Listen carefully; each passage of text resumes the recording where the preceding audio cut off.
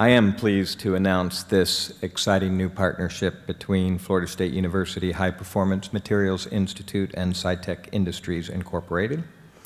Cytec has made possible our newest doctoral fellowship by providing almost a quarter of a million dollars to fund five years of research at Florida State University.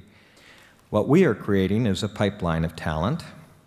Cytec will be able to interact with our young scientists, exposing them to a corporate environment and allowing the students to explore whether Cytec is the right fit for them and vice versa. I'm very honored to be presented with this award. Um, I'm committed to do my best for HPMI, FSU, and Cytec Engineered Materials.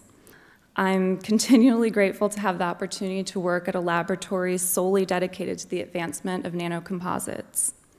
I truly believe this is an integral part in our society's future technological advancement. So again, I'm really honored and I just want to say thank you.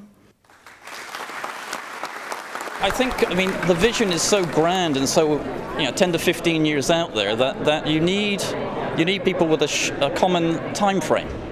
Uh, so a lot of our, our, our activity in, in uh, engineering materials is, has a shorter time frame, but we, we also need a technology war chest to sustain longer term growth. And by doing this, we, we envision the future, we translate that into technologies that we'd like to develop, then we look for the appropriate partners that could do that, and that, that's what's led us to, to find FSU as a very attractive partner. I'm like so honored. I can't even it's hard to describe really, but I just, I'm so excited and honored to be able to work with Cytec, and I think we're going to do great things.